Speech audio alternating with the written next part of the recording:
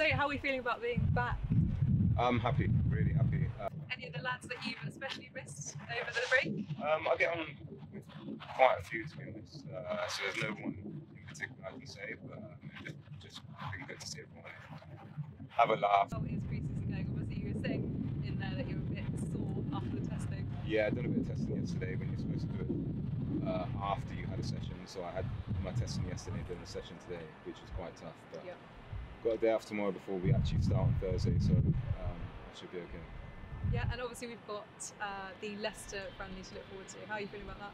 It'll be good, good, good to test ourselves against a, a well-established uh, Premier League team. Um, we've got some very good players, but Any sort of personal aims for the season? score a few more assists, a few more as well.